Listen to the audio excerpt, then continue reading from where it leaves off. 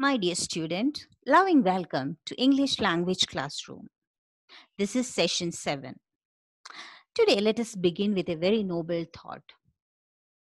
I'm sure all of you love to shine like sun, don't you? So let us read a, a quote by Dr. APJ Abdul Kalam.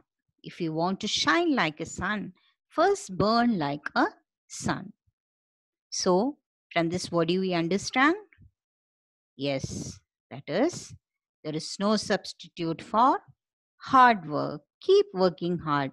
I want you to uh, watch and listen to the videos which we are sending completely till the end. Don't stop halfway. Take down the notes, study, and imbibe the lessons. All right. As usual, let us go to Cambridge English Language Quiz. CELQ. Today I am giving you an exercise related to music. All of us love music, right? Music has great healing effect. And these are the idioms related to music. Let us read the question first. Choose the appropriate idioms from brackets and complete the following.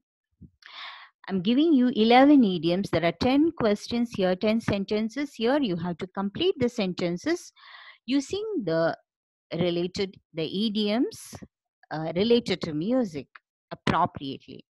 So, are you all ready with your pen and book? Start writing. Pause the video and start writing. All right. I hope all of you have written your answers. Let's go to the answer slide. Yes. The first one is he made a big mistake, but he can't still face the music. See, what is the meaning of this? Face the music. Here it means accept punishment for something. Face the music means that. Next one, I need some glue, paper, string, and all the jazz to make a kite. Here, all the jazz means things like that and things like that. This paper, glue, paper, string, etc. Next one, depending on the weather, we will play it by ear. So we are not sure of the weather. All right. So what is the meaning of that? Play it by your means decide what to do according to the way something develops without making exact plans. Right? We don't know whether the when the when the weather changes. All right. Next, let's uh, let's go to the next question. After the strike, will the president change his tune on taxes? So there's a doubt about it. What's the meaning of that? Change his tune change one's ideas or start thinking in a different way after something has happened. All right. Fifth question. Peter spent, Peter spent the whole evening blowing his own trumpet. This idiom is so familiar, right, to all of us. What's the meaning of that? Talk a lot about your own achievements, right? So that is what it means. It's not right to do that. Next one. In his job, Peter was able to call the tune. Oh, really? That's good. What's the meaning of call the tune? Be in a position of authority to give orders and make decisions. So he is in such a position. Next one, seventh one. She made a song and dance about her aching feet but it was nothing important. Hmm. Sometimes we all do that, right? Yes, what's the meaning of that? Behave as if it was worse or more important than it really is. Next one. He bought his house for a song two years ago. For a song means very cheaply. Next one, I fixed the radio, so now all the stations come in as come in clear as a bell. It means very clear it is. Next one, His words were music to her ears. It means exactly what one wants to hear. Yes. All right, let's go to the main segment in which we are going to discuss um, linking words of contrast. This is transformation of sentences lesson 4. So I'm sure all of you are familiar with this. That is the linking words of contrast are though, although, even though, in spite of, despite. Hmm? So these are the linking words of contrast. I hope you know the meaning of contrast. Hmm? So, though, although, even though. You always ask, what is the difference between these three? Actually, we always use it interchangeably, right? The only difference is, although is the base word Though is the shortened one which is usually used in speech than in writing. And it is not wrong in using in writing. We can definitely use it in writing also. And even though is a stronger word which gives emphasis to what we are telling. But all the three means the same. Now, and in spite of and despite are prepositional expressions which have the meaning similar meaning to although and even though all right they also express a contrast between two things but only thing is they are both that is in spite of and despite are more common in writing than in speaking. Usually we don't use it in speaking. Right? We mostly we use though only because it's easy to use. Uh, then this slight difference between despite and in spite of not in the usage. Only thing is despite is a little more formal than in spite of now we use linking words to join ideas together when we are talking or writing. You know that right? Sometimes we want to link two ideas that are different from each other. Maybe one is a positive idea and one is a negative idea. Or we want to link one idea to other another one which is surprising or unexpected. So in that in those cases in that context we use linking words these linking words. Though although even though in spite of despite. Okay. Now let us see the first example i'm giving you as usual so many examples so that you will understand it better. Example 1 she is 80, but she is fit as fiddle. She's 80, she's old. So, what do you expect actually? You expect that, oh, she must be tired, she is weak, but it's not like that. She is fit as a fiddle. Fit as a fiddle means to be fit as a fiddle means be in perfect health. Oh, lucky, right? Yes. Maybe her food habits good thoughts, all that would have contributed, right?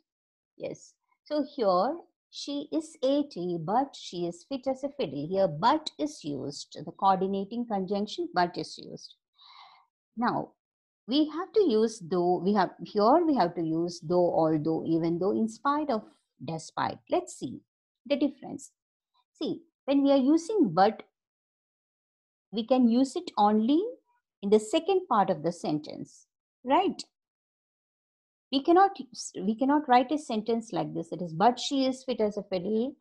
She is 80. We cannot write like that. It is wrong. But when we are using though, although, etc., there is flexibility in the usage. You can rearrange the clauses, right? In all these things. But but cannot be used in the beginning. Let's see hmm. how to use it. Though she is 80, she is fit as a fiddle. Here we are using though in the beginning and then she is 80, comma, she is fit as a fiddle. Okay, so though she is 80, so it's a clause, together it is called as subordinate clause and after that you have to put a comma because we are using the subordinating clause in the beginning. So you have to put a comma after that. Then you have to write the main clause that is she is fit as a fiddle. Now the flexibility here is you can use though she is 80 later also. She is fit as a fiddle though she is 80. But here remember you don't have to put a comma. I hope you understood it. Now I'm not uh, using although even though here you can definitely use it in writing it's not wrong. Only thing is though is more appropriate here that's all. But definitely you can use although and even though it is not wrong right you will get marks. Then in spite of being 80 comma she's fit as a fiddle.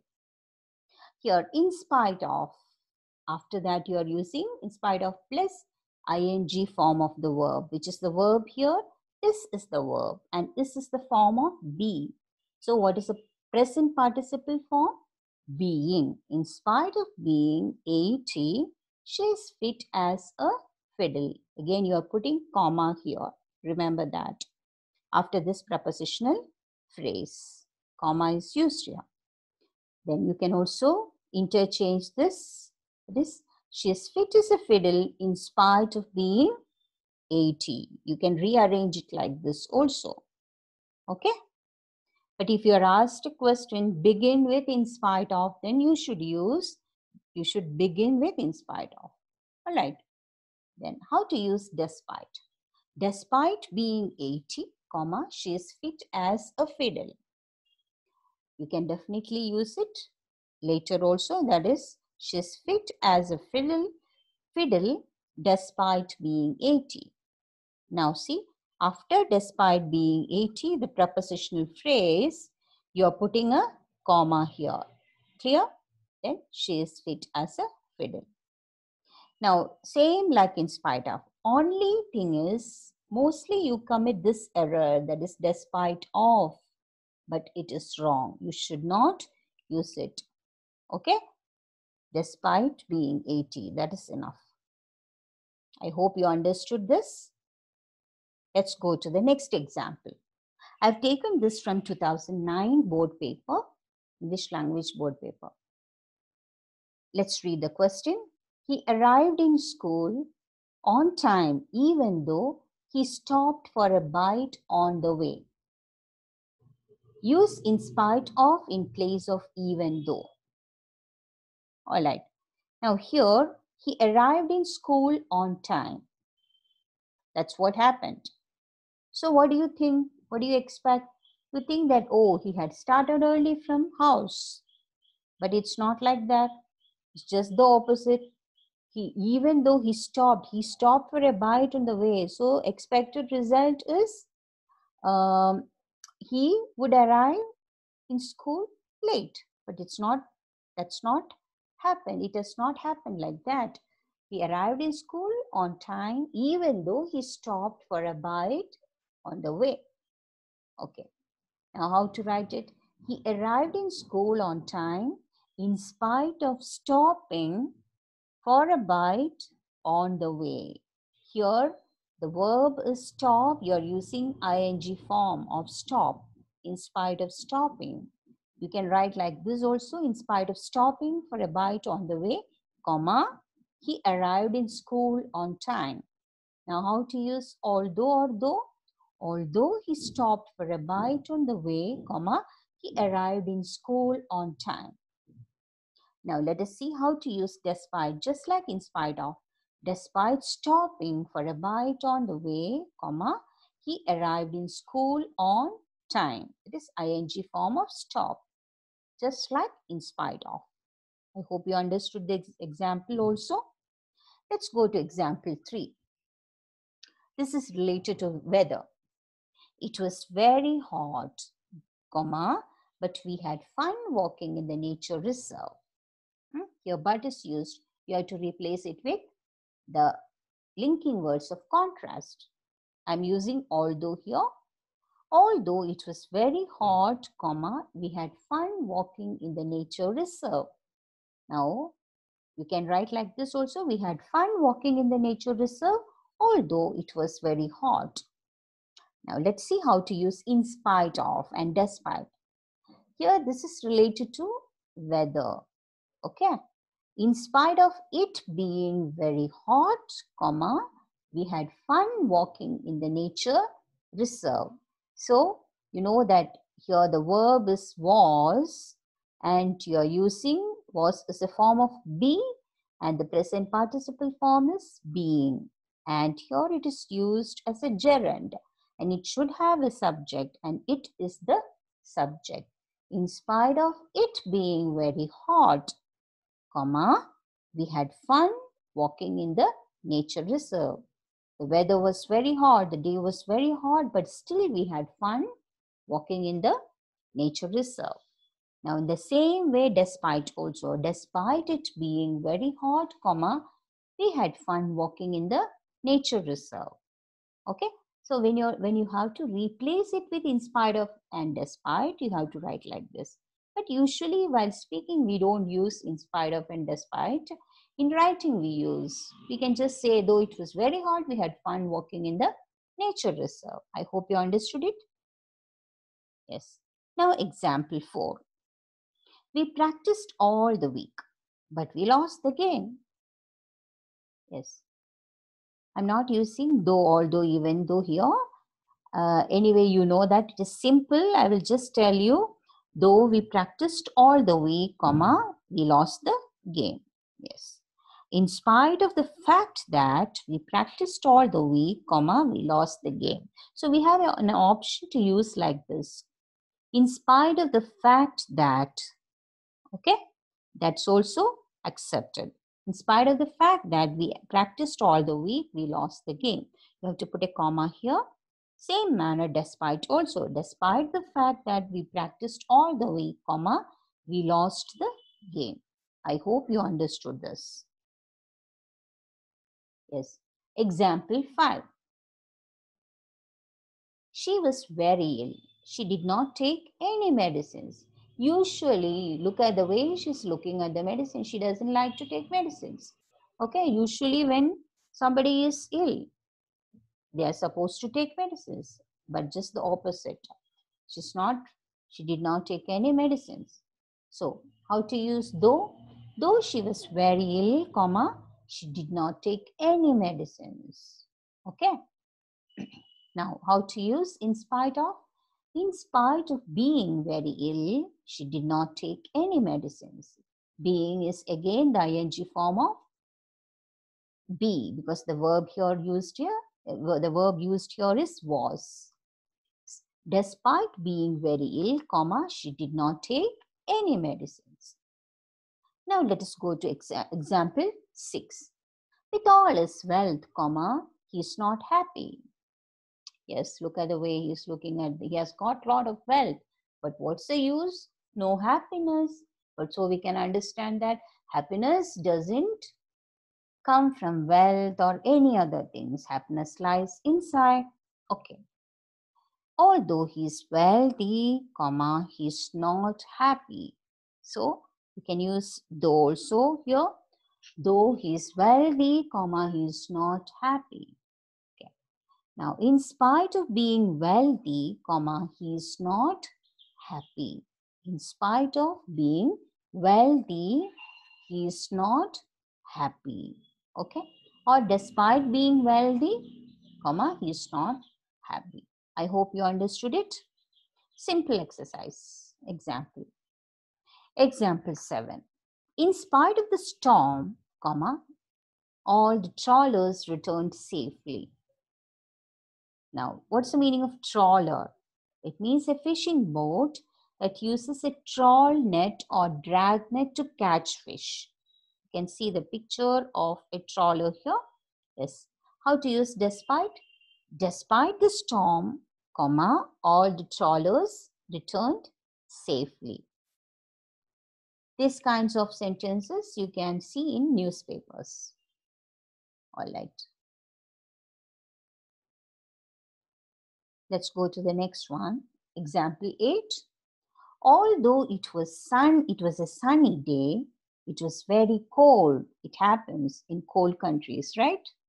Yes.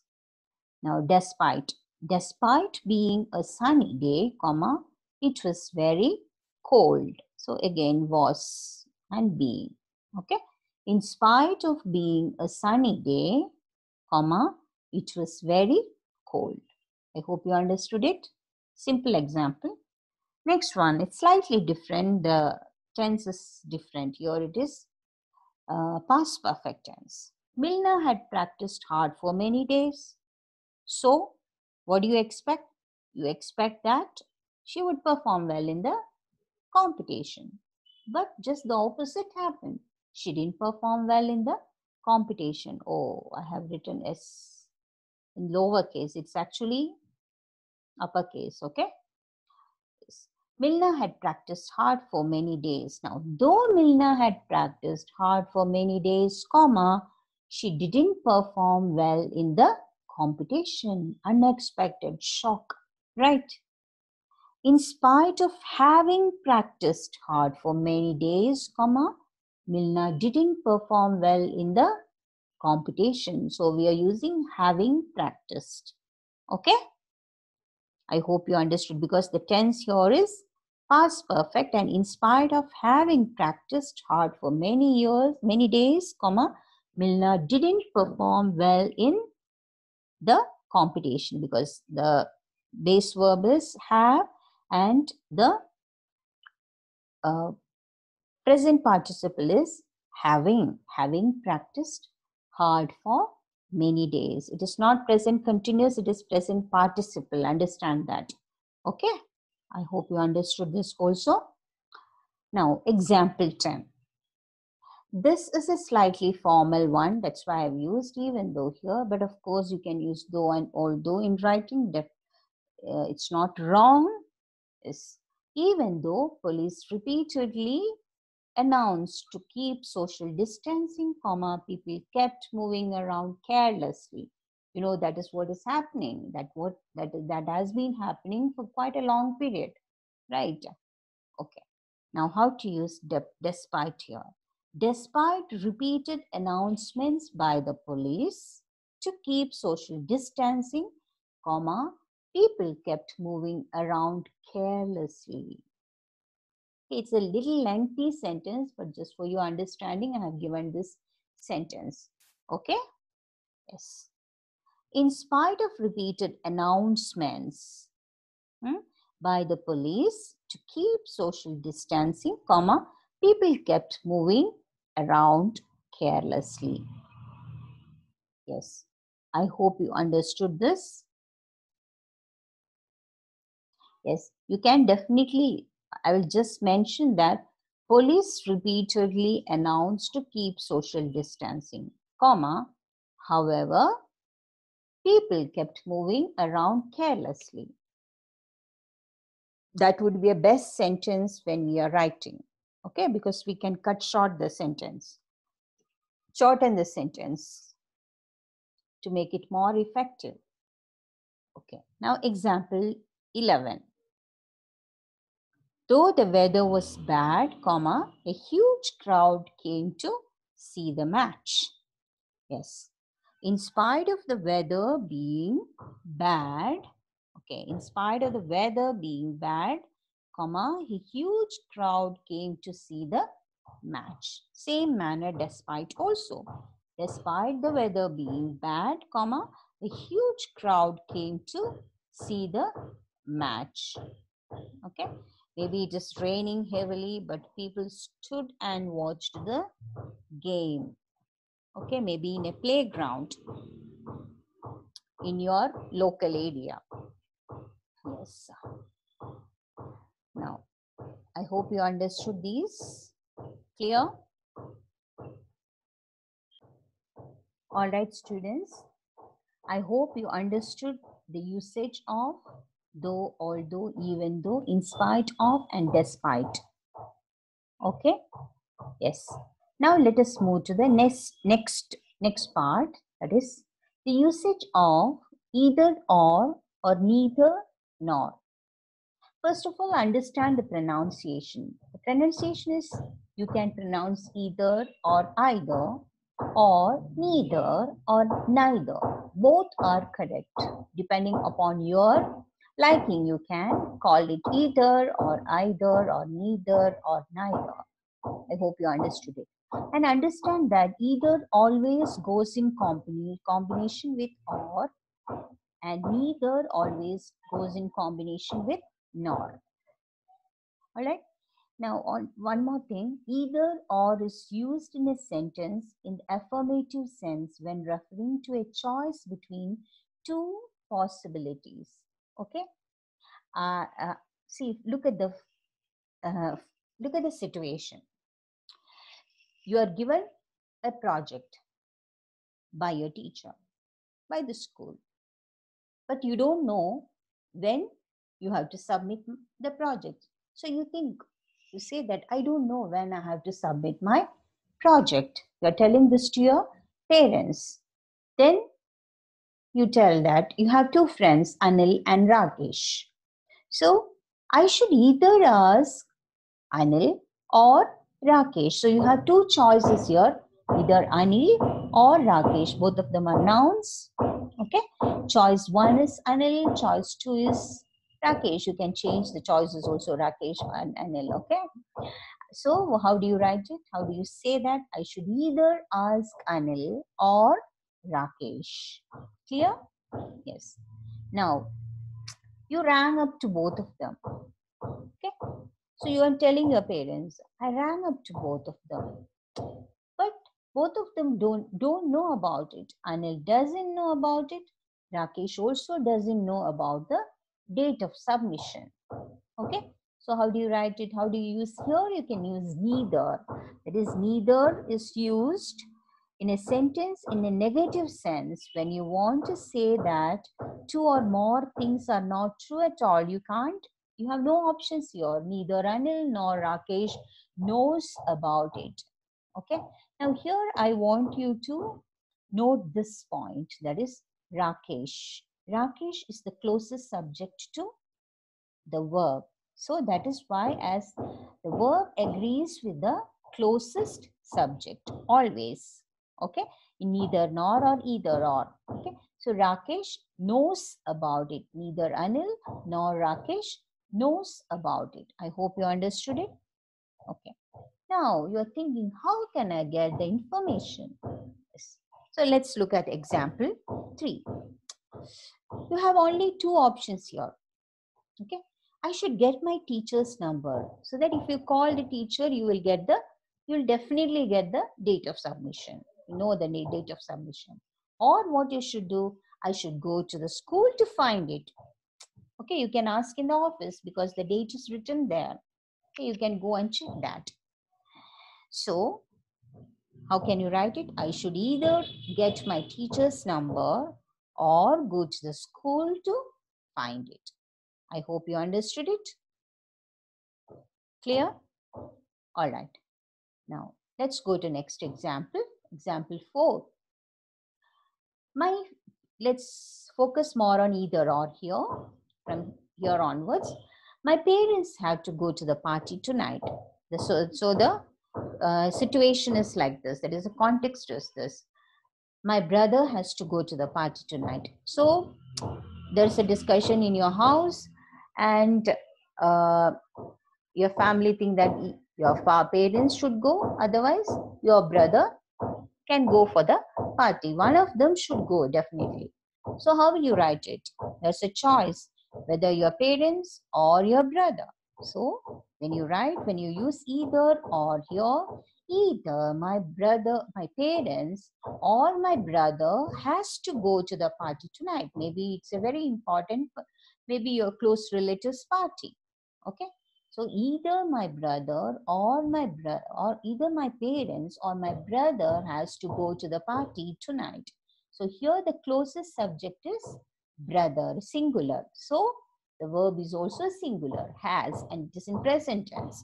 Now if you are using either my brother in the beginning either my brother or my parents have to go to the party tonight then the verb should agree with parents, the subject. So here it is plural. So the verb also should be plural.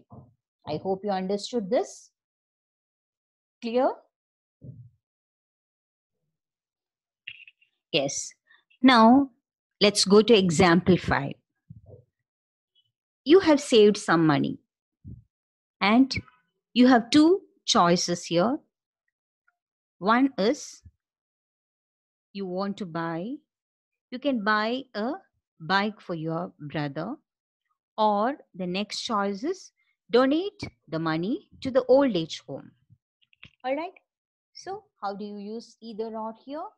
I will use the saved money either to buy a bike for my brother or donate it to the old age home. So, you are just pondering over this what I should do with the saved money. Okay, you have choices here. I hope you understood this. yes. Next one, example 6. Here, let's see how to use neither nor. These books don't have information about this topic. That is, you want some information about a particular topic and you are going through uh, some books and also you checked on Google. But you see that there is no information at all about this topic, both in books, both in the books which you have and the Google. And you know that some of the information you will not get from any book or from Google. You will get only from a learned person. Okay. So this is a lesson for you. Yes. In between neither nor lesson. Okay. Let's see how to use neither nor here. Neither these books nor Google has information about this topic. Now here Google is closest to, that is the noun, Google is closest to the verb. And so the verb agrees with the closest subject. That is, here it is singular. So you have to use has. Now neither, if you are writing like this, neither Google nor these books have information about this topic because books is plural. So the verb agrees with the plural. Verb is also plural. Okay. So subject verb agreement is a very important matter and it is considered as a very major error. Okay. SV uh, subject verb agreement. Subject should agree with the verb. Yes. Now let's go to example 7. I've taken this from 2008 paper her mother warned her not to talk to strangers. She told her not to accept gifts from people she didn't know. I hope all of, I'm sure all your mothers would be warning this, right? Yes. So, how to use neither nor here? Her mother warned her neither to talk to strangers nor to accept gifts from the pe- from people she did not know. This is also very simple. I hope you understood the usage. All right. So today we have discussed the usage of linking words of contrast.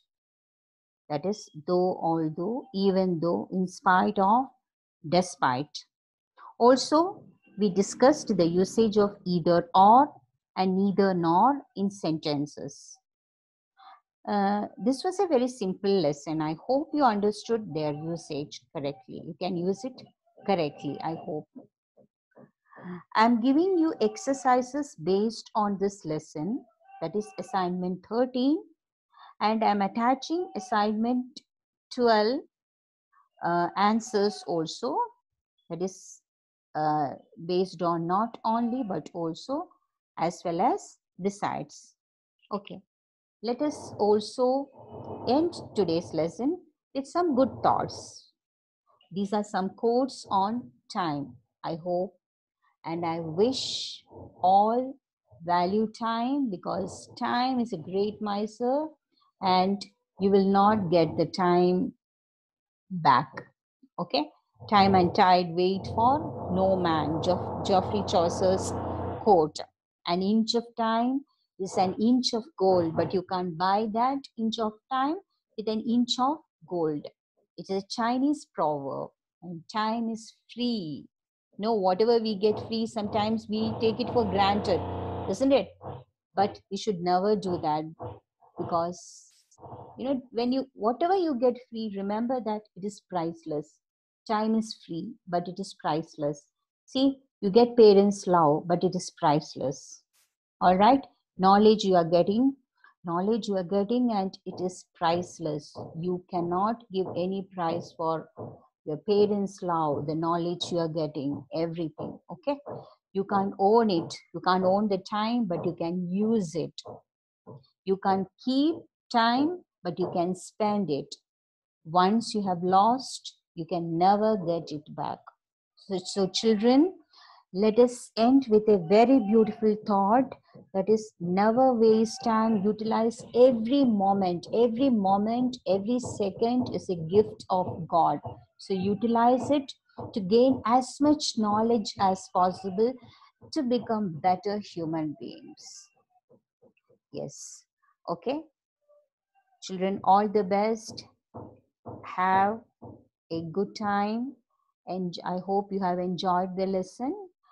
Take care and do the exercises. Don't waste time. Thank you